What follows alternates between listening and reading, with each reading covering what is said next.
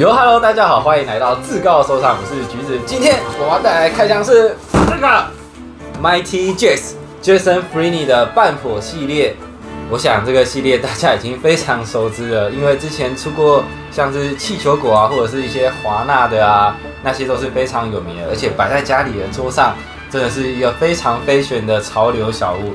但是真的是没有办法全刷，而且我比较不收这种 Q 版的或比较偏潮流的玩具。不过没办法，既然有了，我们就只好开箱。其实里面超多盒，真的超麻烦的。那我们就先来开箱吧。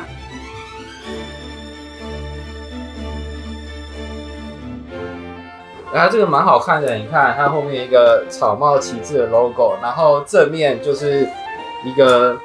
一个这次出的六款人物角色的一个封面合绘，加上它这边看起来就是一个非常非选的一个排列，有点舍不得开耶。这个其实蛮好看的，真的超级好看，超舍不得开的。要怎么开？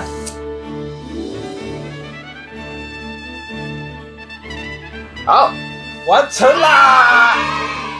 觉得我们越来越综艺化了，这不太好，是不是？好，我们现在已经把外盒组装完成给大家看了，里面总共有十二小盒，大家应该都知道，总共有六个人物加上三个隐藏版。所以为什么官方会选这六个人物，我其实也不知道他们选的标准在哪里，因为毕竟少了大家很喜欢的纳美嘛。但是不要失望哦，因为他今天写了一个 Series One，所以说我觉得之后应该还是会有第二代跟第三代了。那我们就先来开吧。我们看到盒子的正面，其实看起来比较没有质感，所以我们就直接来看到侧面啊。其实这侧面看起来就是有种美式的感觉。然后另外一面呢，就是有 Rare 跟 Rare One 跟 Rare Two，还有一个 Ultra Rare。然后我们可以从剪影看到 Ultra Rare 就是我们的香吉士的隐藏版。那我们就先来开盒吧。我们就让盒子受到最小的伤害就好了。哎。就不会开得太丑。哎哎，鲁夫，其实开出来虽然你不用拆弹，但是它就有这个名牌卡片，所以你就知道它是鲁夫了。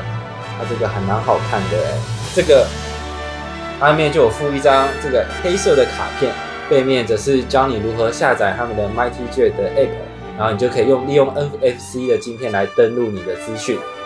我们就先来开。鲁夫，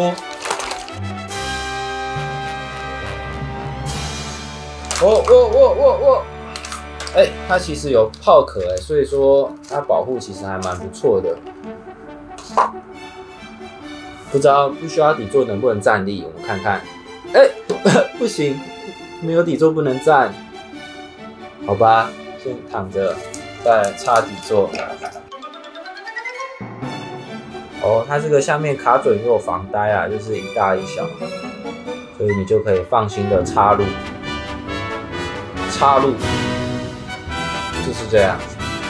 这次鲁夫勒质感做的还蛮不错的，高度大约是十点五公分，一小盒的售价约为三百九十元。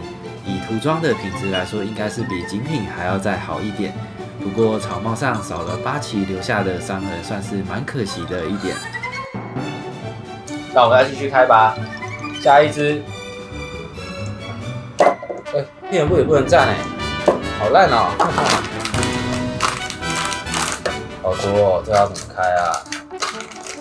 要开到天荒地老，十二只。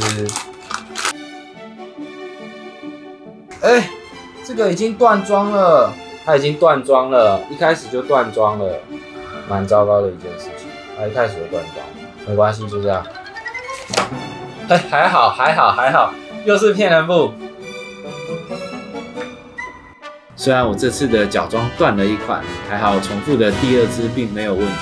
因为鼻子下面是软骨组成的，所以骗人布长长的鼻子只会看到红色的肉而已。整体的细节表现跟鲁夫一样，有不错的水准。这次鲁宾算是最有特色的一款，不止展现出了花花果实的能力，还把每只手都做了半破的效果。不过大家除了手以外，应该还会在意它被半破的那傲人双峰吧？另外就是在面相方面也是蛮还原出罗宾的神韵。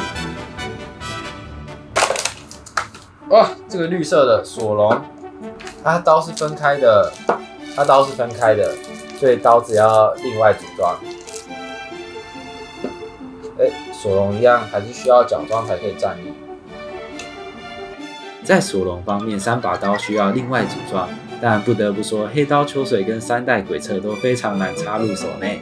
还好硬塞之后并没有出现刮漆的问题，配上帅气的三刀流，真的让人忍不住想多看几眼。另外就是左眼的伤疤，在这里骨头居然也有还原出伤痕来，可以感觉得出来，官方在这里还蛮用心的。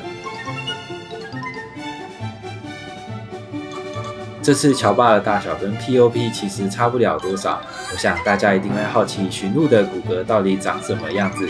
比方说在下颚这里就做的比较细长一点，整体看起来乔巴还真的做的蛮可爱的，超喜欢的。里面最喜欢的就是香吉士跟鲁宾了。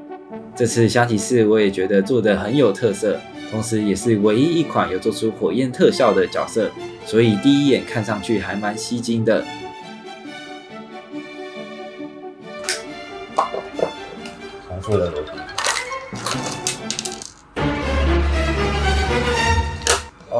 组装的吗？断了！这个也太烂了吧！哎，这个一拆开，它的脚就是断了。这个品管真的很糟糕，真的是超烂的。这个骗人部的脚装，骗人部的脚装也是断的啊，都这样。算了，它是花花果子，还会再长出来。断。烂，一开就爆，还好还好我有录影，不然大家以后开箱一定要录影。看看，哎，没有牌子，隐藏版，没有啦，乱讲了，还是重复的啦。索隆，看是索隆，最难组的索隆，看这个刀子每次装的很崩溃。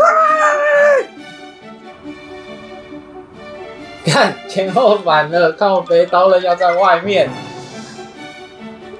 干干，好了，好了，崩溃开箱，又是崩溃开箱系列，好吧，就这样，就这样。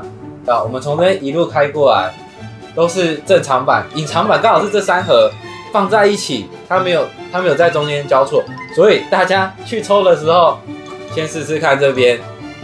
不保证一定会抽到隐藏版，但是可以试试看。开，open this，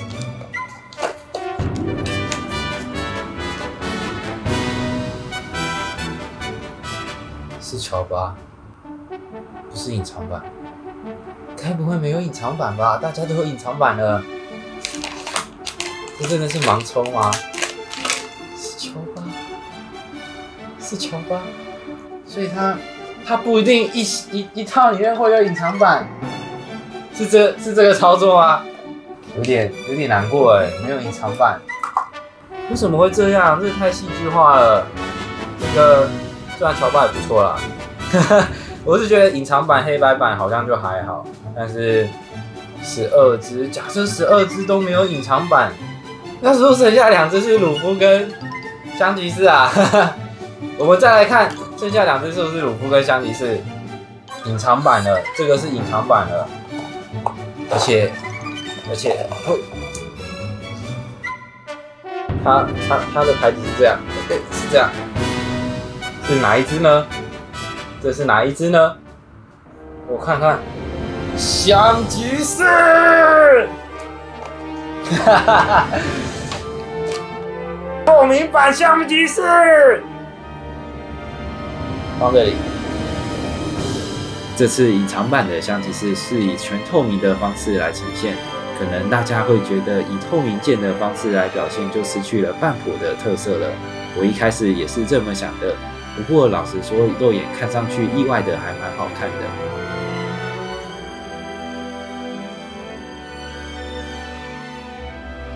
最后一盒。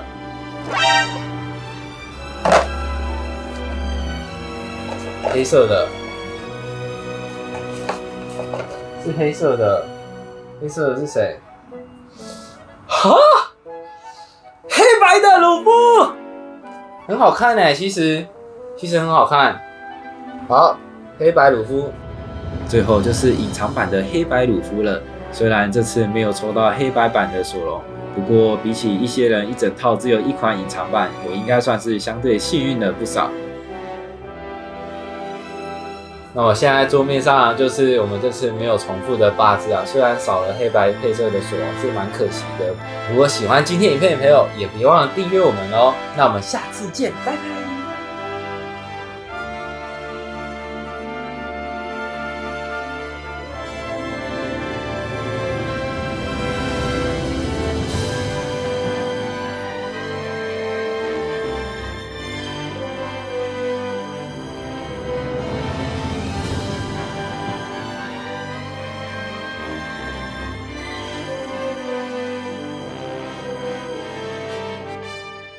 如果喜欢今天的影片，欢迎订阅、按赞、分享，还有追踪我们的 Facebook 跟 Instagram。未来有希望开箱什么玩具，也欢迎在底下留言。那我们下次见，See you。